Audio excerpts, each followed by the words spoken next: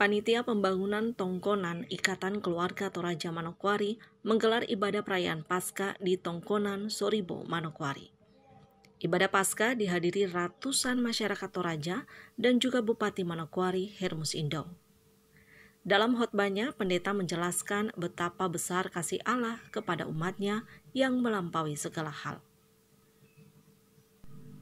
Ibadah perayaan Paskah juga dirangkaikan dengan acara Mapasoro Tukang dan pembukaan Musyawarah Daerah 4 IKT Manokwari. Bupati Manokwari Hermus Indo dalam sambutannya memberikan apresiasi kepada Ikatan Keluarga Besar Toraja atas perannya dalam pembangunan di Manokwari. Dan saya kira Toraja telah membuktikan dirinya sebagai satu suku yang terorganisir masyarakatnya secara utuh dan menyeluruh serta menunjukkan identitas yang luar biasa. Hal ini tentu memberikan contoh dan teladan yang baik untuk bisa diikuti oleh suku-suku lainnya. Sebelum membuka Musda 4 Ikatan Keluarga Toraja Manokwari, Bupati memberikan sumbangan sebesar 30 juta rupiah untuk mendukung kegiatan Musda.